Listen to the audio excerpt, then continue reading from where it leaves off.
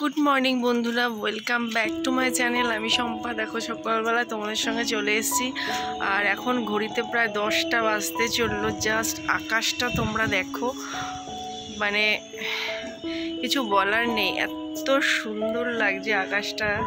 মানে মেঘের কালারটা দেখো। আর এই দিকটা এইরকম কালার দেখছ। আর তার উল্টো দিকে দেখো কালারটা। কি অবস্থা? মানে বৃষ্টি আসবে কি আসবে না সেটা কিছু বোঝাও যাচ্ছে না। মানে এই দিকের একদিকে রোদ ঝলমলে আকাশ, আবার এই দিকটা দেখো, একদম ঘন কালো অন্ধকার। আর দেখো আমার জামা কাপড় আধা শুকনো সবে একটু আগে মেলে গেছি, কিন্তু আমি রিক্স পাচ্ছি না, কি করব? এদিকটা আলো, এদিকটা অন্ধকার, তাই ভাবছি জামা কাপড়গুলোকে তুলেই নেই তো তুলতে শুরুও করেছিলাম। তো তখন মেঘটা দেখে ভাবলাম তোমাদের সাথে একবার শেয়ার করি। দেখো কি অবস্থা মেঘের কালারটা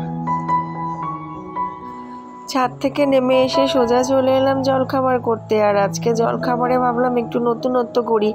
তো পরোটা তো ম্যাক্সিমাম দিন করাই। আর আজকে ভাবলাম একটুখানি ডিম পরোটা করি। ওয়েদারটা দেখে মনে হলো একটু জলখাবারে নতুনত্ব আনাই যেতে পারে। তো এই যে দেখো ডিম গুলে নিলাম। ডিম গুলে নিয়ে ডিম পরোটা মানে লুচি, রুটি বেলে ওর মধ্যে দিয়ে দিলাম।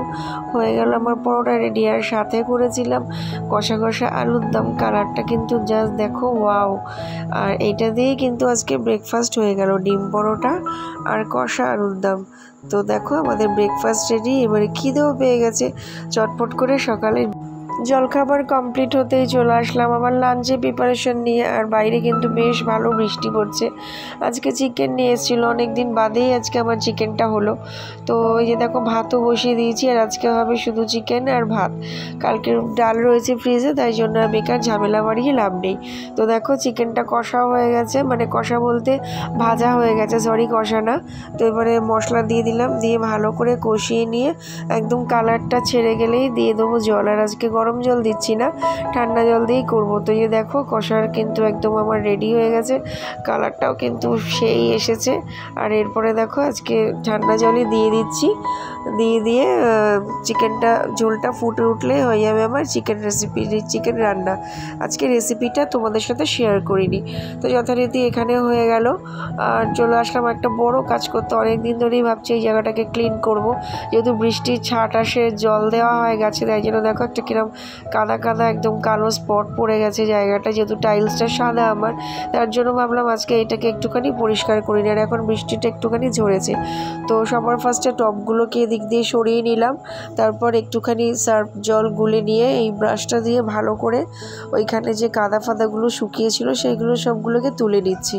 আর যেহেতু ঘরের সামনে জায়গাটা দেখতে ভীষণ খারাপ লাগে, তার জন্য মোটামুটি সপ্তাহে একদিন আমি এই জায়গাটা পরিষ্কার করেই থাকি।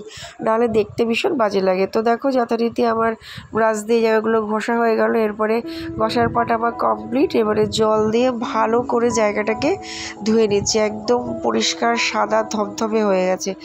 আর গাছগুলো আমার দেখো কীরকম তরতাজা হয়ে রয়েছে। আর এখানে বৃষ্টির ছাট আসে বলেই কাদাটা কিন্তু একটু বেশি হয়ে থাকে। তো দেখো, কথা বলতে বলতে আমার কিন্তু একদম পরিষ্কার হয়ে গেছে। আর এইখানে প্লেটটা একটু ফেটে গেছিল। তো ভাবলাম যে এই প্লেটের ওপরে একটা টব রেখে দিই। যেহেতু আরেকটা টব যে প্লেটটা ছিল, সেই প্লেটটা একদম ভেঙে গেছিল। তো এই প্লেটটাকেই আমি ইউজ করে দিলাম। এইভাবে প্লেট দিয়ে রাখলে কি মানে কাদা ভাবটা একটু কম হয়। তো টবগুলোকে একটু আমার এদিক ওদিক করে দিলাম। তো দেখো, একদম পরিষ্কার, পুরো ঝকঝকে, তকতকে হয়ে গেছে। গেছে কেউ দেখে বলবে, এই জায়গাটা এতটা কাদা হয়েছিল। দেখো, একদম আমার কিন্তু পরিষ্কার করে ধুয়ে মুছে কমপ্লিট হয়ে গেছে। আর জায়গাটা পরিষ্কার থাকলে নিজেরটা দেখতেও কিন্তু সুন্দর লাগে।